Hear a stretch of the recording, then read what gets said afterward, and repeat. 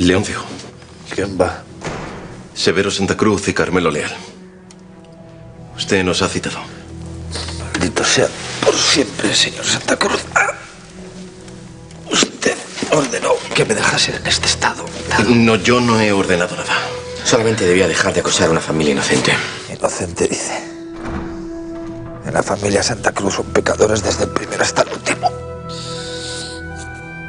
Ah. Esa, fundación de la que tanto presumen ha estado a punto de causar la muerte de cientos de niños. En cuanto a Sol Santa Cruz, todo el mundo sabe que esa mujerzuela se gana la vida. Miren, no hemos venido aquí para que nos insulte, así que diga por favor lo que tenga que decir, sin rodeos. Carmelo, larguémonos. Nada que salga de la boca de este canalla puede interesarnos. Aguarden. Debo prevenirles sobre un mal que les acecha. La condena eterna, ¿verdad? Muchísimas gracias. No, de eso no tiene escapatoria, señor Leal. El peligro al que ahora me refiero es mucho más terrenal.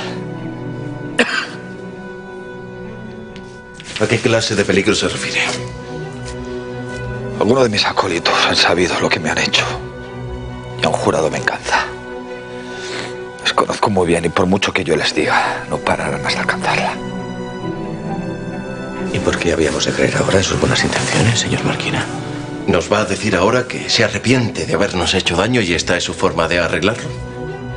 En absoluto, señor Santa Cruz. Sigo pensando exactamente lo mismo de ustedes.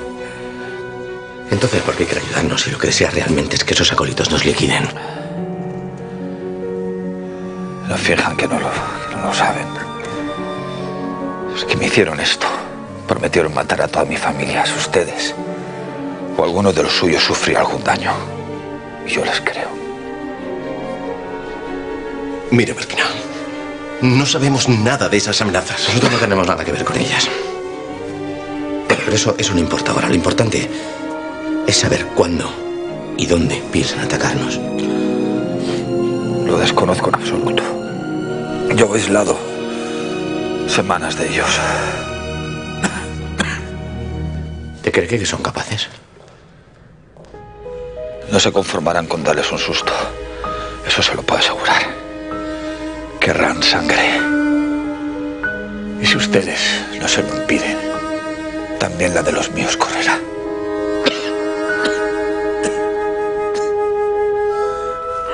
Ha ha ha!